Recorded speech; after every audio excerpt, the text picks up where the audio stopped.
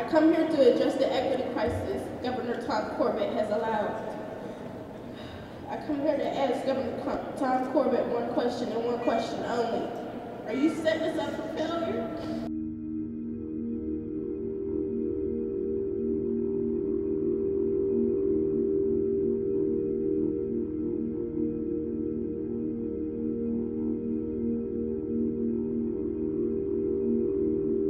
Everybody from all over Pennsylvania came today to support. We came together for a cause and that's what we did.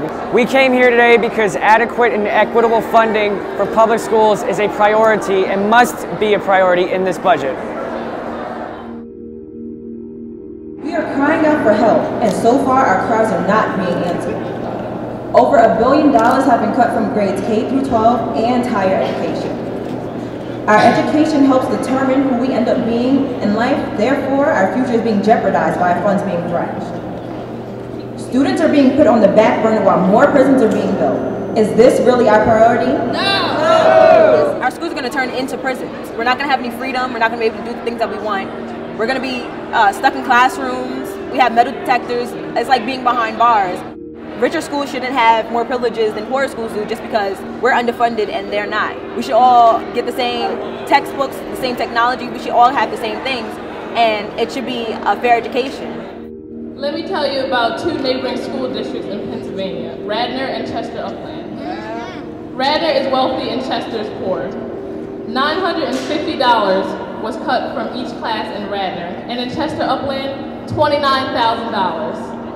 $29,000. Is that right? No! Is that right? No! Hi, I'm Sierra Williams, and I'm a senior at Science and Discovery High School in Chester, Pennsylvania. Chester Upland School District has been crippled by Governor Corbett's budget cuts. Before the school year started, 53% of the teachers in my school district were laid off. In January, my teachers were working without pay.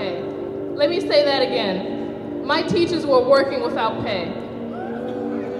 There's a constant fear of the school shutting down because our budget is not substantial for a quality education.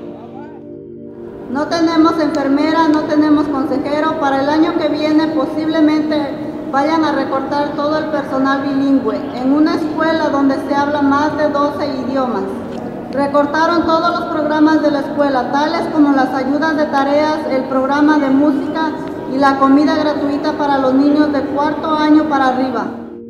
Come here to address the equity crisis Governor Tom Corbett has allowed. I come here to ask Governor Tom Corbett one question and one question only. Are you setting us up for failure?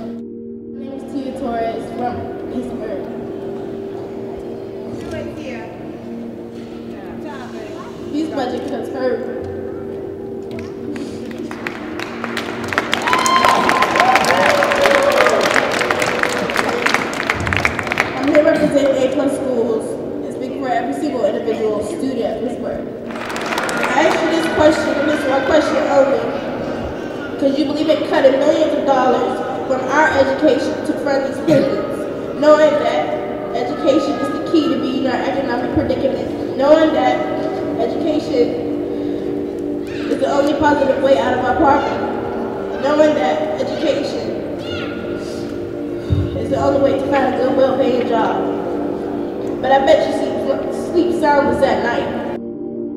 Where has the love for equitable public education gone? It is evident that the time has come in the era of public education for students from all across this vast state, from all walks of life and respective backgrounds, to come together in solidarity against the budget cuts.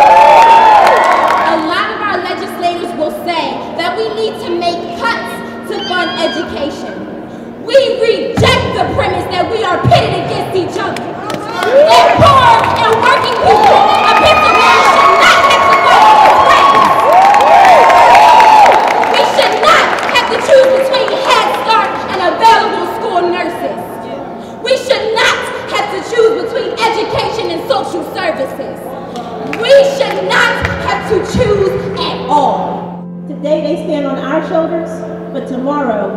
on them. So fund public education to its fullest potential. And I want Governor Corbett to put on notice today. Our children are up here to put you on notice. Governor Corbett, our children are not leaving, they will be back. Fund public education. So after this, I'm going to Spelman College in the fall, and I'm going to learn, and I'm going to be educated so I can come back and educate my peers. I'm going to come back and I'm going to make sure that more students get involved in each program to speak for themselves and know that their voice can be heard around and across the country because I believe that this opportunity right here is going to open up opportunities for people across the country that are going to suffer in the same thing. It's just not statewide, just not citywide. We want to take this across the country and if it has to be a federal level.